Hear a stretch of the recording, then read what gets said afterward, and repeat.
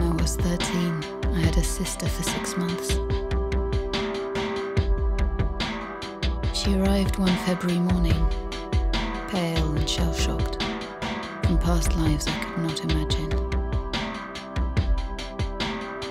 She was three years older than me, but in no time we became friends. We'd listen to her mixtapes. Dead Can Dance. This Mortal Coil. She introduced me to her favourite books. Gave me clothes. And my first cigarette.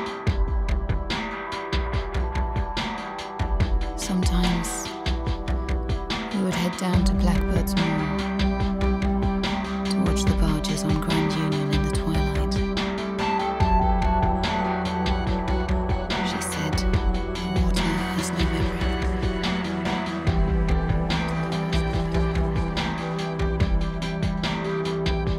a few months, everything about our lives was perfect.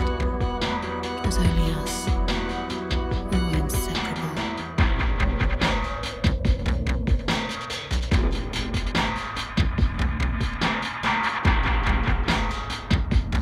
But gradually, she passed into another distant part of my memory. Until I could no longer remember her face, her voice,